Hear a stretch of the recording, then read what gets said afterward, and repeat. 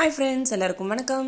Welcome back to my channel Sai Kavin kitchen இன்றைக்கி நம்ம சேனலில் நல்ல ஹோட்டல் ஸ்டைலில் கல்யாண பந்திலெலாம் வைக்கிற மாதிரி ரொம்பவே ஒரு சூப்பரான டேஸ்டியான சவ் சவ் கூட்டு எப்படி செய்யலாங்கிறதான் பார்க்க போகிறோம் இப்போ வாங்க இன்றைக்கான வீடியோக்குள்ளே போகலாம். சவ் சவ் கூட்டு செய்கிறதுக்கு நான் இன்றைக்கி ஒரு சவ் சவ் தோல் சீவிட்டு நல்லா குட்டி குட்டி பீசஸாக கட் பண்ணி எடுத்து வச்சுருக்கேன்.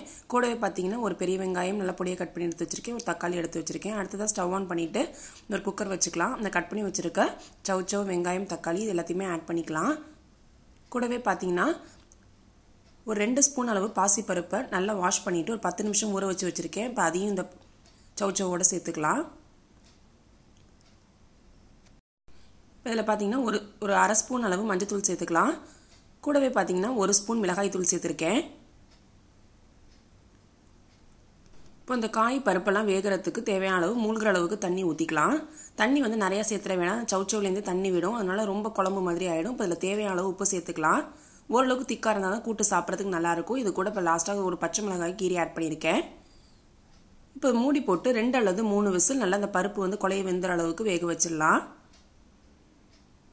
இப்போ ப்ரெஷர் ரிலீஸ் ஆனதுக்கு ஓப்பன் பண்ணிட்டேன். பாருங்கள் அந்த பருப்பு காய் வெங்காயம் தக்காளி எல்லாமே வந்துட்டு நல்லா வந்துட்டு மலர வெந்து வந்திருக்கு. இந்த அளவுக்கு இருக்கணும். இதுவே ரொம்ப தண்ணி வச்சிட்டோம் அப்படின்னா அந்த காயில் உள்ள தண்ணியும் சேர்த்து குழம்பு மாதிரி ஆகிடும் சார் ஹோட்டலில் கல்யாண வீடெல்லாம் வைக்கிறது பார்த்தீங்கன்னா ஓரளவுக்கு தளத்துலேருந்து திக்காக தான் இருக்கும்.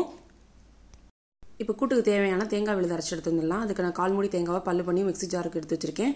இந்த கூட்டுக்கு ஸ்பெஷலான டேஸ்ட்டும் ஃப்ளேவரும் தரது ஜீரகம் தான் ரொம்ப மையம் இல்லாமல் ஓரளவு குறை குறப்பாக அரைச்சி எடுத்து இப்போ ஸ்டவ் ஆன் பண்ணிவிட்டு குக்கரில் உள்ள இந்த கூட்டை வந்து கொதிக்க விட்டுடலாம் இப்போ கொதிச்சிட்டு இருக்கும் பொழுதே நம்ம அரைச்சி வச்சு அந்த தேங்காய் விழுதை வந்து இதில் சேர்த்துக்கலாம். சேர்த்துட்டு நல்லா அதை கலந்து விட்டுருங்க. இப்போ தேங்காய் சேர்த்ததுக்கு அப்புறமா இது நல்லா கொதி வரட்டும். பாருங்கள் கூட்டு வந்து கரெக்டான கன்சிஸ்டன்சியில் இருக்குது ரொம்ப திக்காகவும் இல்லை தண்ணியாகவும் இல்லை. நம்ம சாத்துக்கு சைட் டிஷ்ஷாகவும் சாப்பிட்லாம். இல்லை சாத்துலேயே கூட போட்டு சாப்பிட்லாம். அது சவுச்சவு கூட்டு வந்து நல்ல ஸ்வீட்டாக இருக்கும். இந்த பாசிப்பருப்போடு சேர்த்து சாப்பிடும் பொழுது அவ்வளோ ஒரு டேஸ்ட்டாக இருக்கும்.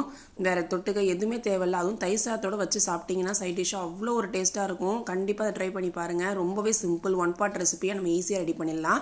இப்போ அது கொதிச்சிட்டு இருக்கு. இப்போ இதுக்கு தாளிப்பு ஆட் பண்ணிடலாம்.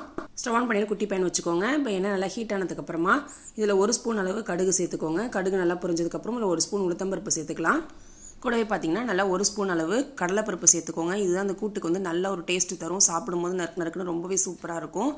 லாஸ்ட்டாக இது கூட இப்போ வந்து ஒரு வரமிளகாய் சேர்த்துக்கலாம். நம்ம ஆல்ரெடி பச்சை மிளகாய் சேர்த்துருக்கோம். காரத்துக்கு வந்து மிளகாத்தூள் போட்டிருக்கோம். இது ஜஸ்ட் தாளிப்புக்கு வந்து ஒரு வரமிளகாய் மட்டும் சேர்த்துக்கலாம். எப்போதும் போல் ஒரு கைப்பிடி அளவு சின்ன வெங்காயம் அல்லது பெரிய வெங்காயம் ரெண்டுமே நான் கலந்து எடுத்திருக்கேன். இது ரெண்டுத்தையும் ஒரு கைப்பிடி அளவு சேர்த்துட்டு ஃப்ரெஷ்ஷான ஒரு கொத்து கருவேப்பிலை ஆட் பண்ணியிருக்கேன். நல்ல சின்ன வெங்காயத்தோட வாசனையோட நல்லா மணக்க மணக்க தாளிப்பு ரெடி ஆயிடுச்சு. கொச்சிட்டு இருக்கும்போது இது கூட கொஞ்சமாக பக்கம் பெருங்காயத்தூள் ஆட் பண்ணிவிட்டு நம்ம ரெடி பண்ணி வச்சுருக்க தாளிப்பையும் ஆட் பண்ணிக்கலாம். லாஸ்ட் அதுக்கு மேலே கொஞ்சமாக கொத்தமல்லி தலை தூவிக்கலாம்.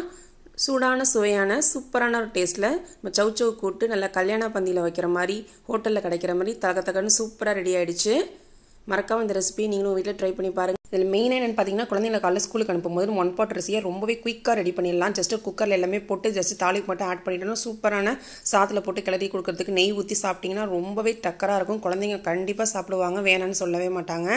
ட்ரஸ்ட் மீ எங்கள் வீட்டில் எல்லாருக்குமே இந்த ரெசிபி ரொம்ப ரொம்ப ரொம்ப பிடிக்கும். என் பையன்லேருந்து எல்லாருமே ரொம்ப விரும்பி சாப்பிடுவாங்க. வாரத்துக்கு ஒரு முறை கண்டிப்பாக அந்த சவுச்சவு கூட்டு நாங்கள் செஞ்சுருவோம். ஸோ நீங்களும் ட்ரை பண்ணி பாருங்கள் ட்ரை பண்ணி பார்த்துட்டு கமெண்ட் செக்ஷனில் எப்படி இருந்துச்சுன்னு கமெண்ட் பண்ணுங்கள் இதே மாதிரி சிம்பிளாகவும் ரொம்பவே சூப்பரான ஒரு டேஸ்ட்டில் செய்யக்கூடிய குழம்பு recipes and side dish recipes வந்து நிறைய நம்ம சேனல் அப்லோட் பண்ணியிருக்கேன். அந்த ரெசிபிஸ்க்கான லிங்க் வந்து கீழே டிஸ்கிரிப்ஷன் பாக்ஸில் தரேன். வேணுங்கிறவங்க செக் பண்ணிக்கோங்க. இந்த வீடியோ மறக்காம லைக் பண்ணி ஷேர் பண்ணுறது இல்லாமல் நம்ம சேனல் வரைக்கும் சப்ஸ்கிரைப் பண்ணல அப்படின்னா மறக்காம சப்ஸ்கிரைப் பண்ணி வச்சுக்கோங்க. அண்ட் கூடவே இருக்க பெல் பட்டனை கிளிக் பண்ணி ஆன்கிற ஆப்ஷனை செலக்ட் பண்ணி வச்சுக்கோங்க. வேற ஒரு இன்ட்ரெஸ்டிங்கான வீடியோவில் மீட் பண்ணுறேன் டாட்டா டேக் கேர் பாய்